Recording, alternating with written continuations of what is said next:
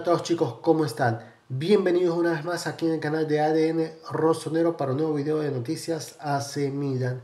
Y bueno chicos, como es de costumbre, no olviden suscribirse al canal, dejar su like y activar la campanita para que puedan estar al tanto de todas las noticias referentes a la Milan aquí desde vuestro canal de confianza. Y para las personas que desean contribuir con el canal, pueden suscribirse para volverse miembros premium del canal y así apoyarnos. Pero bueno, sobre todo para las personas que no están, suscríbanse y dejen su like para que eh, el algoritmo de YouTube nos pueda ayudar a que las noticias y, las información, y la información referente a la semilla de aquí de este canal pueda llegar a más personas. Y bueno chicos, antes de comenzar el video de noticias de hoy, quiero mandar un saludo a las personas que comentaron en el video anterior, como Manuel Fernando, como Gabri G, como Wilson Llanos Álvarez. Un saludo para todos ustedes y para las personas que van a comentar en este video, ya saben, las vamos a estar saludando en el video eh, del día después, o sea, en el video del día de mañana. Así que comencemos con las noticias del día de hoy. Este, como ya les había comentado el día de ayer, ya habría salido prácticamente, este, ya se habría presentado de manera oficial la cuarta equipación de la Milan, lo cual yo el día de ayer eh, les habría dicho, este, que no, que no sabía si era una cuarta equipa, equipa eh, quinta equipación o cómo iba a ser, porque no se sabía cuál iba a ser la camiseta del arquero.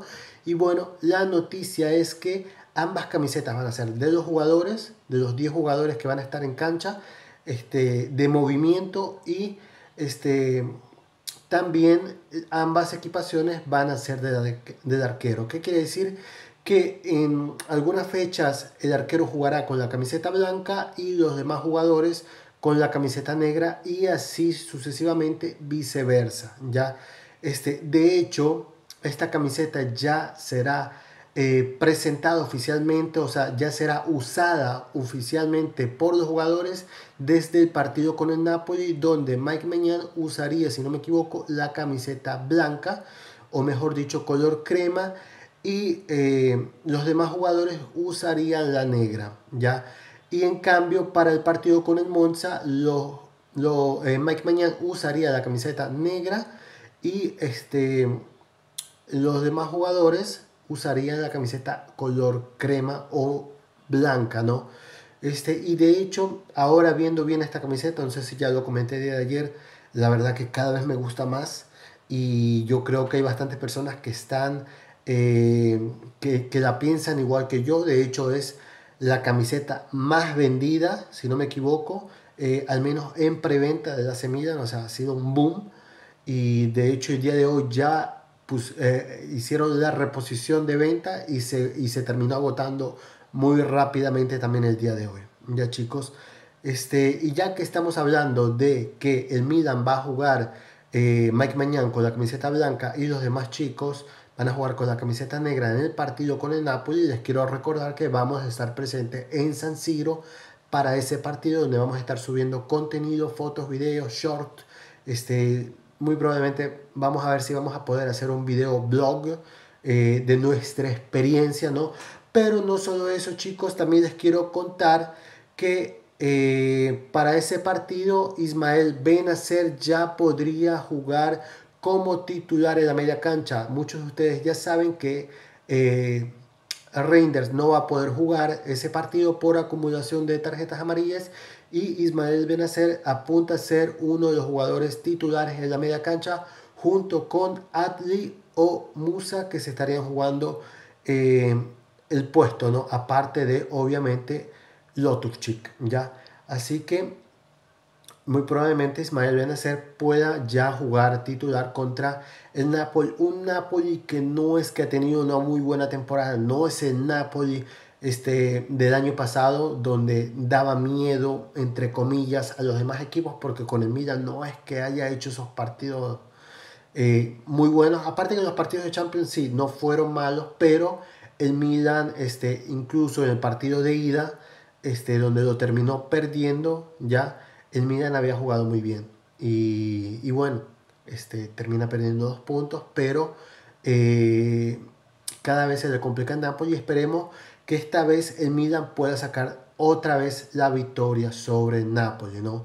Y bueno, también les quiero comentar que los eh, jugadores el día de hoy habrían tenido otro día de descanso después de que recién el día de ayer, eh, no, perdón, recién el día martes habrían comenzado de nuevo los entrenamientos, o sea, sería eh, martes y miércoles. Hoy tuvieron otro día de descanso por parte de Stefano Pioli.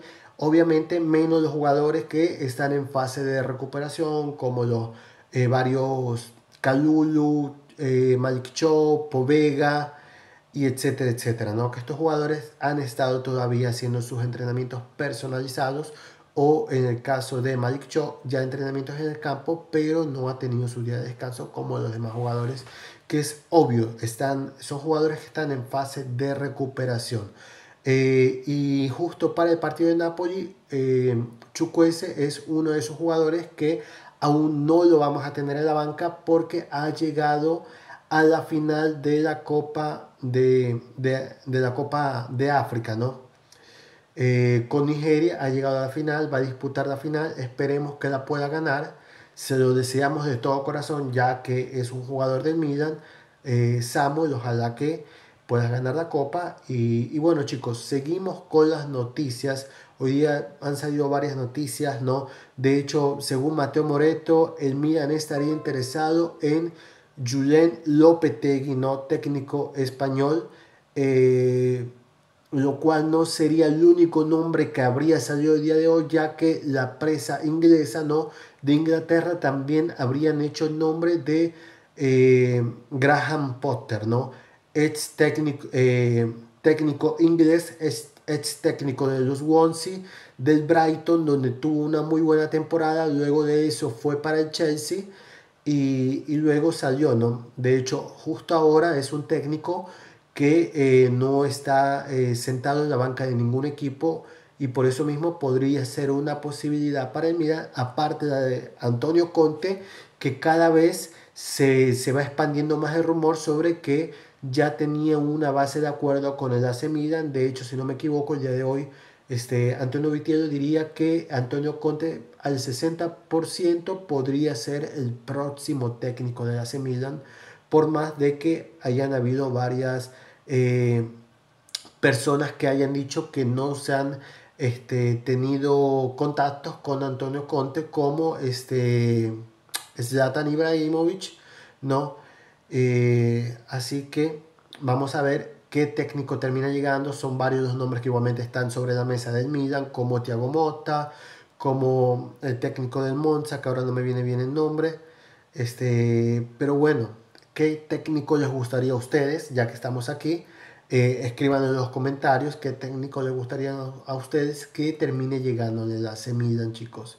Eh, y para antes de concluir el video del día de hoy también quiero hablar algo sobre el calciomercato, lo cual, según rumores, la Atalanta estaría dispuesta en eh, comprar a Charles de Keteder, pero antes de eso quisieran ellos hablar con el Milan para poder obtener una rebaja y tratar de comprarlo por una cifra en torno a los 16 millones.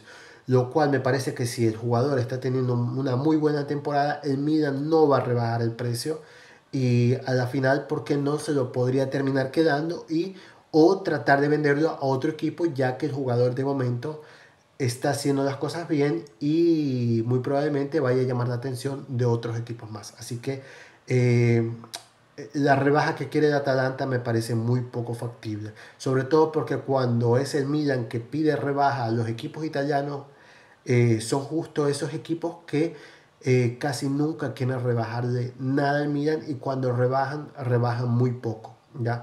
O el Milan termina a fin este, descartando esos jugadores y yendo a fichar otros jugadores en otras ligas eh, de Europa. ¿no? Eh, y justo hablando de jugadores que podrían ser cedidos o comprados, Marco Brescianini, ya jugador que prácticamente el Milan este, lo habría dado el Frosinone, no se lo habría vendido que, ahorita es parte del Frosinone, se dice que justo la Atalanta y la Juventus estarían interesados sobre Marco Brescianini. ¿Ya? ¿Por qué les comento esto? Porque el Milan actualmente se rumorea, se rumorea que tenga un eh, un porcentaje de futura reventa sobre el jugador del 50%. ¿no?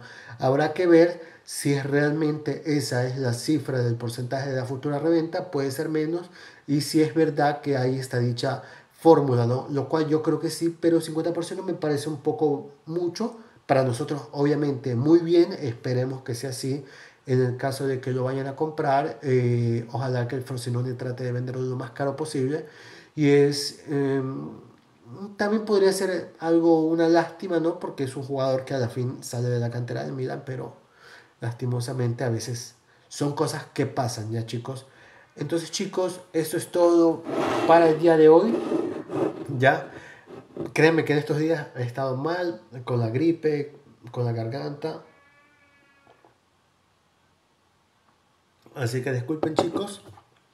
Nos vemos en un próximo video de noticias AC Milan. Como siempre chicos, no olviden suscribirse al canal, dejar su like y activar la campanita para que puedan estar al tanto de todas las noticias de la AC Milan aquí en ADN Rosonero. Para las personas que desean pueden volverse miembros premium del canal simplemente tocando el botón de suscribirse. Así que nos vemos en un próximo video. Goodbye. Aquí los saludo haciéndoles igualmente ver mi última adquisición mi taza de la semilla. Nos vemos.